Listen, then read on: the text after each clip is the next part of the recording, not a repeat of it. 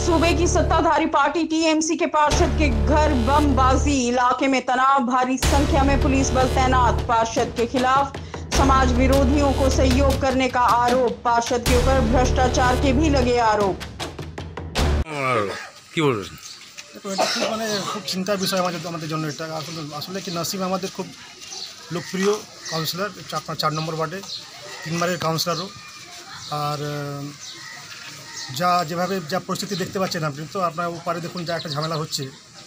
মানে ঝামেলা এখানে বন্ধই হচ্ছে না। আজকে যদি নাসিমে যদি কিছু হতো এখানে, তাহলে বুঝতে পারছেন তো চাঁদদানি আমাদের হিন্দু মুসলিম মিক্সড পপুলেশন যদি নসিমে কিছু হতো, আজকে চাঁদদানির কী হাল হতো সেটা আমরা বুঝতে পারছেন আপনি। এটা আমরা চাই, এটা ভালো করে তদন্ত হোক। যারাই এদের পিছনে আছে, এই ঘটনার পিছনে, তাদেরকে কড়াভাবে শাস্তি দেওয়া হোক।